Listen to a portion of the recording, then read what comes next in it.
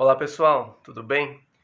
É, eu estou aqui para responder uma pergunta que certa vez um amigo me fez. Ele perguntou assim: Josemar, qual é a banda nacional que possui o recorde de tempo com a mesma formação? A resposta é Roupa Nova. O Roupa Nova se formou em 1980, teve a primeira gravação em 81. Então, até o ano de 2020, eles completaram em 2020 40 anos de estrada. É, infelizmente, né, com a morte do Paulinho, não foi possível ampliar essa marca para 2021. Porém, até o momento, eles possuem esse recorde de banda nacional com maior tempo com a mesma formação, ou seja, a formação original. Logo na sequência, né, nós temos o Paralamas. O Paralamas surgiu em 82 com a formação.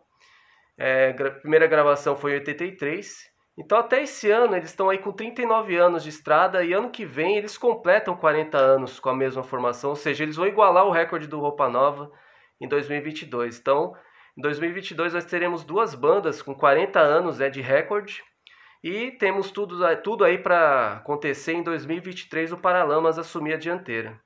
Uma peculiaridade dessas duas bandas, elas nunca pararam, né? elas sempre estiveram na estrada, sempre estiveram gravando.